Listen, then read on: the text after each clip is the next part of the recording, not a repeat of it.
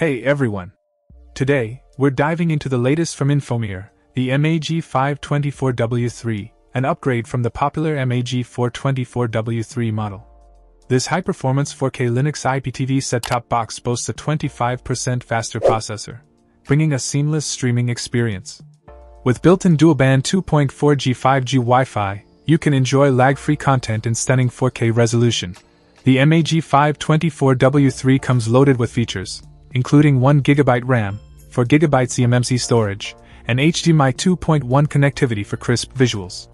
Its support for HEVC ensures efficient compression without compromising quality. Setting it apart, it replaces the MAG324W2 and MAG424W3, making it a worthy successor in the Infomir lineup. Connectivity is a breeze with options like Ethernet, HDMI, and Wi Fi.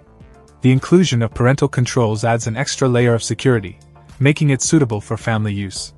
The box comes with a free remote control, HDMI cable, and a US plug for a hassle free setup. Whether you're a tech enthusiast or a casual viewer, the MAG 524W3 promises a top notch IPTV experience.